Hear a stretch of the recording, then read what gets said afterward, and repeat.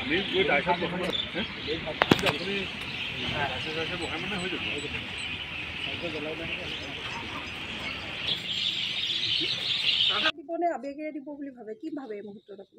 মই ভাবোঁ যে অসমৰ ৰাইজে এইবাৰ পৌৰসভা নিৰ্বাচনত কংগ্ৰেছক যদি জয়যুক্ত কৰে ৰাইজৰ চবতছে লাভ হ'ব। কাৰণ বিজেপিয়ে যিটো ক্ষমতা বিকেন্দ্ৰীকৰণৰ কথা কৈছিলে এতিয়া লাহে লাহে আপোনালোকে সকলোৱে দেখিছে যে ক্ষমতাৰ বিকেন্দ্ৰীকৰণ হোৱা নাই দুৰ্নীতিৰ বিকেন্দ্ৰীকৰণ হৈছে।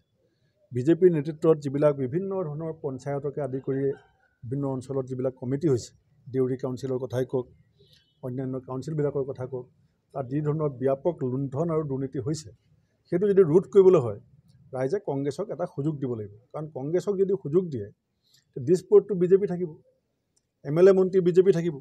গতিকে কংগ্ৰেছৰ পৌৰসভাবিলাকে এক পইচাও যাতে অসৎব্যৱহাৰ নহয়। প্ৰত্যেকটো নয়া পইচা যাতে সৎব্যৱহাৰ হয় তাৰ কাৰণে তেওঁলোক সাৱধান থাকিব। কিয়নো কংগ্ৰেছৰ দিনত যদি বেয়া কাম হয় বিজেপি চৰকাৰটো চকুমুদি নাথাকিব। কিন্তু বিজেপিৰ যদি পৌৰসভা হয় এতিয়া বিজেপিৰ যিটো অহংকাৰ ধাৰাবাহিকভাৱে নিৰ্বাচন জিকি থকাৰ কাৰণে আৰু যিধৰণে দুৰ্নীতিৰ পয়োভৰ বৃদ্ধি পাইছে সেইটো আৰু দুগুণ বাঢ়িব। কাৰণ তেওঁলোকৰ যিটো আত্মসংকাৰ আহিছে নিৰ্বাচন জিকাৰ কাৰণে ৰাইজকতো গ্ৰান্টি হিচাপে লৈছে। গতিকে মই ভাবোঁ যে এই নিৰ্বাচনৰ জৰিয়তে ৰাইজে দুৰ্নীতিৰ বিৰুদ্ধে আৰু বিজেপির অহংকাৰৰ বিৰুদ্ধে আৰু বিজেপিয়ে পইচা যিধৰণে অপচয় কৰিছে তাৰ বিৰুদ্ধে এটা ৰায় দিব।